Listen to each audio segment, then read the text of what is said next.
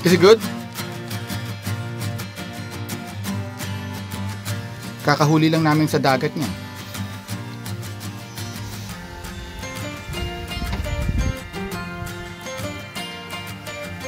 Sige, banat.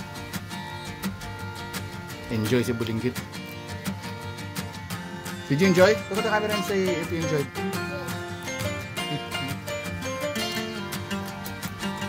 What did you enjoy here? Swimming, also eating this. Yeah, what's that? Also, sorry, catching some fish. Yeah, I got some fish. I got three, but one was so small I had to put it back. And I, I, I enjoyed looking at the ducks. Did you see the small ducks? Mm-hmm. And you know what? They also have a firing range here. And then you. Yeah, we'll, we'll, we'll, we could visit it in a while. Tapos, sobrang ganda lang talaga dito. So relaxing. Tapos ang sarap kasi walang ibang tao kundi tayo. Hindi kami. Sama namin si Nina.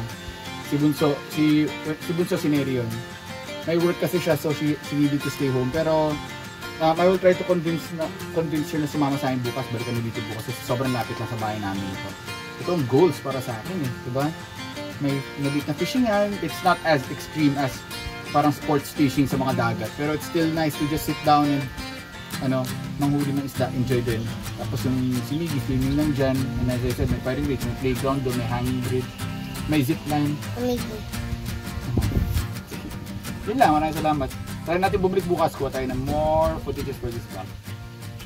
And this is Chito and Amazing. mm,